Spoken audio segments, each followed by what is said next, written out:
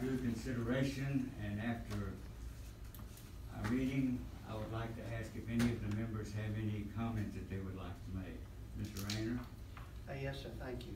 Uh, This has been uh, quite an experience in that, as, as I have heard in paper, have talked to people of the code of ethics, how important it is, but yet it uh, needs uh, more than some fine tuning, and, and I think this is a- example of, of, uh, we are working with what we have, uh, but uh, it, it could be better. I appreciate, uh, Councilwoman Armintor to come and talk to us about this and give us her opinion so we could see, um, what she was thinking and, and how she, uh, with her advice for council, the decisions that she was making. And, how that reflects back to the code of ethics that we have right now. And so that, um, that made an, an impression and, and helped me with uh, my decision on uh, how I'll vote uh, tonight, sir. Ms. McDaniels? Thank you. So I am acutely aware of the degree of interest our community has in this ethics ordinance. And I think it's only fitting for people who wrote the ordinance to go back and address it and do the work that needs to be done to make an ordinance that we would be proud of.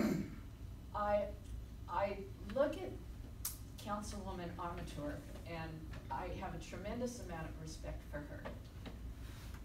Um, I think about the community that's watching what's going to happen with this, uh, decision, and I also think about her constituents, the people who voted for her, her base, the, uh, the voters out there, all of the citizens who look to her to, to represent them on city council. So it's a very high standard that, that we put on city council, for better or for worse. But it's, it's also, um, it's also a standard that, uh, I, I appreciate that from what I heard from you and from your attorney, that you were really thinking about, um, what is in the best interest for your constituents, and so I really appreciate that as my, as well. Um, and that did help me come to, to a decision. Mr. Moher? I too agree that, uh, after seeing the ordinance as it is written, that it undoubtedly needs, uh, some work, uh, in, in areas that has caused this situation to arise, uh, for one. Um, and knowing what, the way things are written and what's presented, um, it, it, it gave some definites in, in my opinion, and my, and my beliefs of what's, of what's before us. I, I do, uh, do agree with Ms. Daniels that, you know, we do put a level of, of high level on, on our city councilmen to do, do for the constituents, for the city. And I'm not, I believe that, that that is being done, don't get me wrong. You and others, I believe that all y'all have been done, but, uh, with that, um, this ethics committee, uh, the task they've been assigned to, um, had, you know, decisions made on what's before us, not what we think or what we would like it to be, really based on what's before us and that uh, to help me make my decision going forward. Is it the consensus of the committee to do the vote tonight? Yes, sir. yes, yes. Under ethics complaint 19002, Board of Ethics concerning the allegations and violations of ethics ordinance, ordinance section two, two seventy-two, and two seventy-three. The vote needs to be a record vote, it needs to be spoken up, and I'll call each member's name and have them to vote.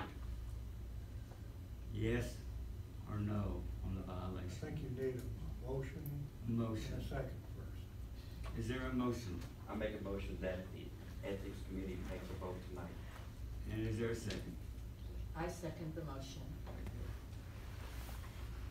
Mr. Rayner, your vote, please. I vote uh, in favor of the violation.